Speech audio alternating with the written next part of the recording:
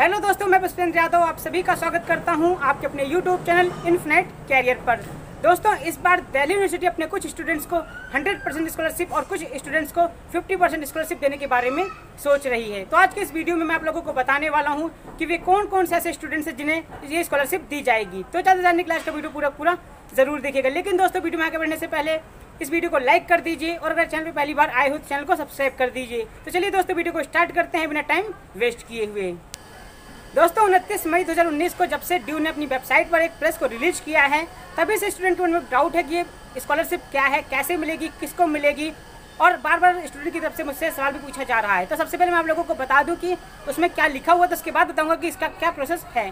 तो दोस्तों, उसमें लिखा हुआ था कि ऐसे स्टूडेंट जिनके फादर और मदर दोनों अनएम्प्लॉयड हैं या दोनों की डेथ हो चुकी है उन्हें हंड्रेड परसेंट स्कॉलरशिप दी जाएगी ड्यू की तरफ़ से।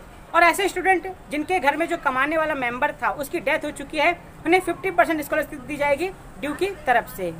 लेकिन दोस्तों, यहाँ पर मैं बात क्लियर कर दूँ कि ड्यू की तरफ़ से भी कोई कंफर्म नोटिफिकेशन नहीं आया, इस बात को लेकर कि ऐसा होगा या नहीं होगा। जैसे ही कोई कंफर्म नोटिफिकेशन आएगा, मैं आप लोगों को वीडियो के माध्यम से बता दूँगा, और इसके लिए क्या प्रोसेस है वो भी मैं आप लोगों को वीडियो के माध्यम से बता दूँगा। तो आई होप आप लोगों को सारी बातें क्लियर हो गई होंगी।